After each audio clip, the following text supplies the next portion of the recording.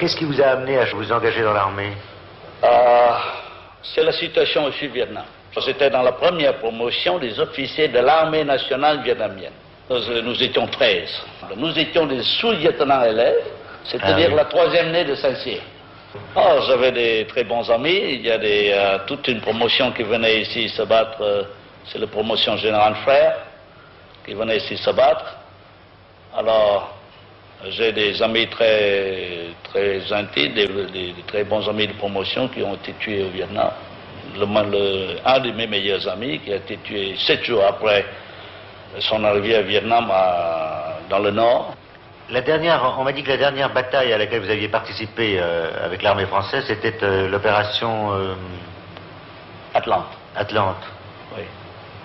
Pas avec les Français, pas avec l'armée française, parce que ça, c'est la première fois que l'armée vietnamienne a été donnée un secteur et j'étais assigné à Bindin pour commander 10 bataillons pour débarquer. Mais comme il n'y a pas 10 bataillons au moment voulu, alors je dois débarquer à Somkau, beaucoup plus au sud, et puis remonter jusqu'à Bindin. Mais tous nous étions des Vietnamiens dans cette opération, soutenus par la logistique française mais commandé par les Vietnamiens. C'était la première fois qu'il y avait un, secteur confié complètement aux Vietnamiens Non, j'étais au secteur de Hung au Nord-Vietnam, au sud de Hanoï. Ça, c'est le premier secteur vietnamisé. Alors, c'est le, morceau le plus dur qui a été passé à nous par la, par la zone sud. Enfin, j'étais, je travaillais avec les gens en Alors, j'ai plusieurs fois respecté. Et puis, même j'envoyais un rapport de tonnerre au général Cougny, il était venu. Qui a rédigé ces rapports? Alors, il y a le, commandant, un commandant français qui est chef d'état-major, un colonel vietnamien qui était commandant du secteur, moi j'étais lieutenant, chef du troisième bureau. J'ai rédigé le rapport. Et il signe comme ça. Après avoir lu, il signe. Le commandant même, Jean Cogny, dit que c'est formidable ce rapport. Euh, il ne pensait pas que c'est le commandant français qui, avait osé et puis ça dit que quel est celui qui a résidé ce rapport Je dis que mon général c'est moi. Je dis que pourquoi? Je dis que je dois dire la vérité. Alors général Hug, qui est mon chef d'état-major, il a, il a été euh, signalé par Jean Cognier, général Hug était venu, il dit que viens, viens ici. C'est bon, c'est bien, comme officier, mais tu n'as pas encore le droit de faire ça. Tu feras ça quand tu seras général, mais pas maintenant.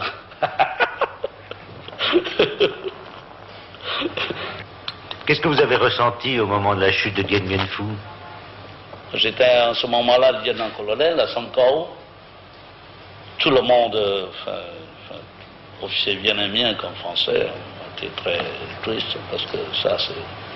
Mais moi moi je vous dis franchement, s'il n'y avait pas la politique en France, si on n'est pas battu en politique, on ne sait pas ce, même à Paris, la chute de Phu avec la perte de 15 000 hommes, ça ne justifie pas la perte d'une guerre. Et la chute de Phu, en comparaison avec la chute de Cointry, de Compton, de, ben, de qu'est-ce que c'est? Et 15 000 hommes par rapport à 180 000 Français, c'est même pas un dixième de l'armée, plus 180, 120 000 Vietnamiens. On peut toujours continuer la guerre si on en avait les moyens.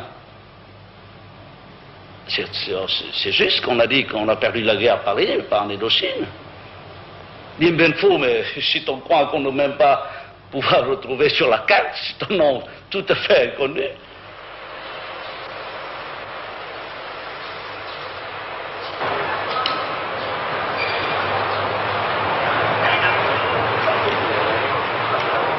Chef de l'État, Thieu est aussi commandant des forces armées.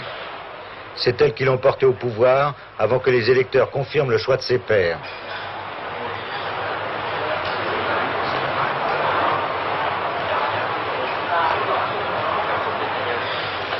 Au Conseil des généraux, réuni au palais, Thieu déclare La paix ne doit pas nous endormir. Restez vigilants.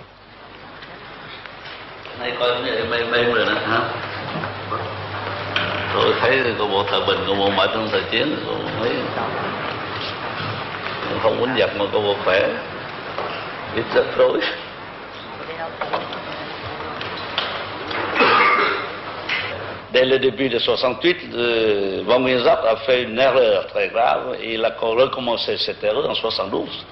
Il a sous-estimé l'armée sud-vietnamienne.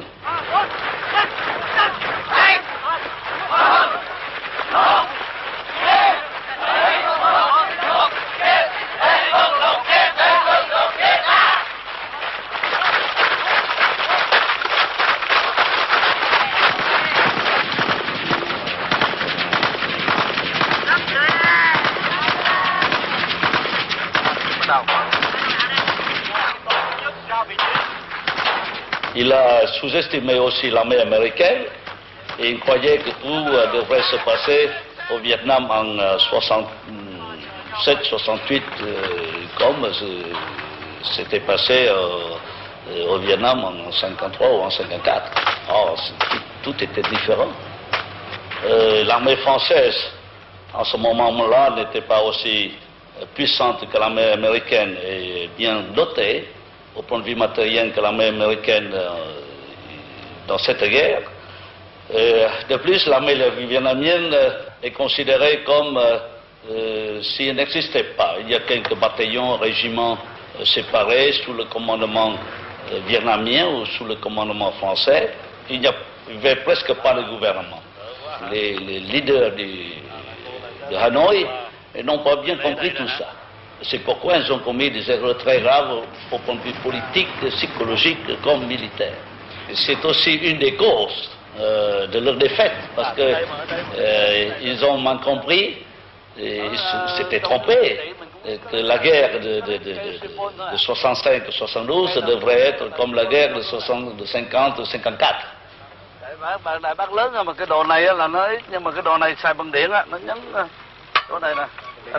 Thiou examine les armes prises à Sawin. C'est la première fois que ces canons anti-aériens, très modernes, tombent aux mains des soldats gouvernementaux.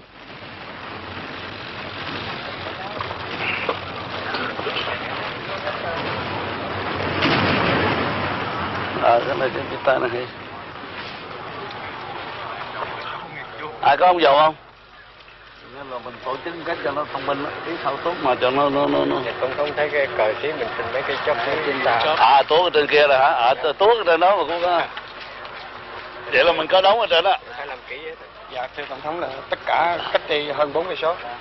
Giờ đây giờ là couple giờ làm nha là sẽ là leader fed là bây giờ vậy.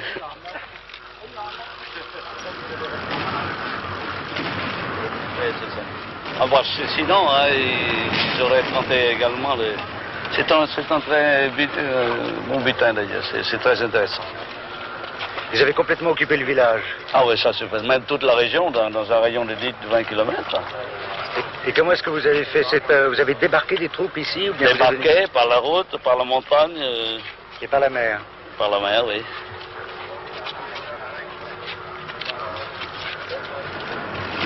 Ah, ở đây bên này. Cái này để vương quân hả? Tại nó dòm xuống tôi rồi kia cho nên nó còn ngắn. Dạ, thế đây địa phương quân ạ, tiểu đoàn 118 Ờ.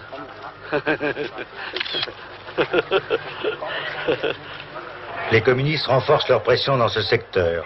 Thieu tient une réunion impromptue avec les officiers.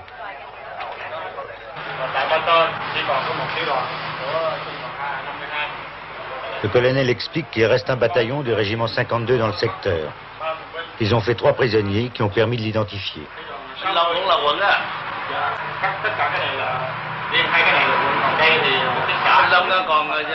Le président s'inquiète des populations. Elles regagnent les villages, lui dit-on. Les abanteux, elles ont été attaquées.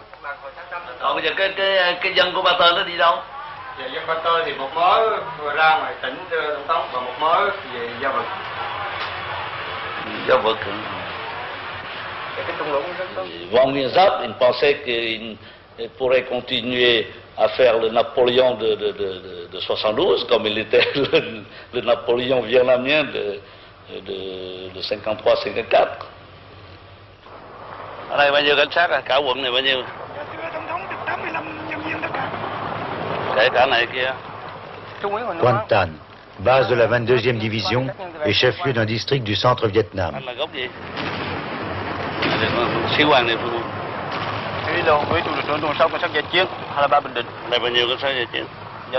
20 ans de carrière militaire ont appris à Tiou que rien ne valait l'étude personnelle du terrain et le contact direct.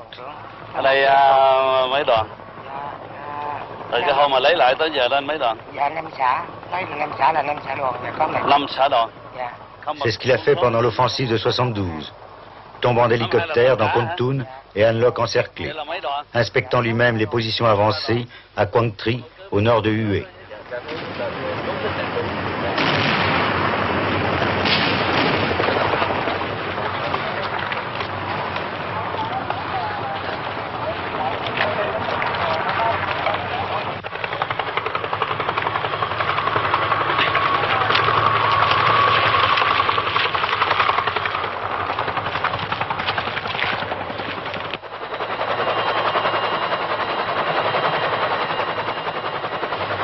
J'ai dit ça à quelques Américains qui me demandaient ça. Et qu'on s'attendait à ce que vous pouvez terminer cette guerre dans trois mois avec votre massive aviation.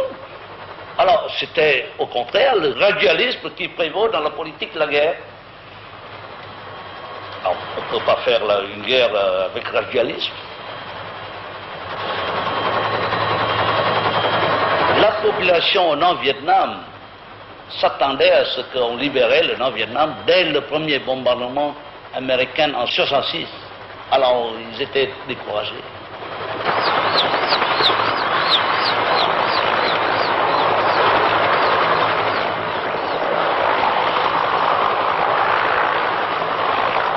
Si j'avais tous les moyens nécessaires, j'aurais cassé le corps de bataille de ZAP, même au Laos, en 1971.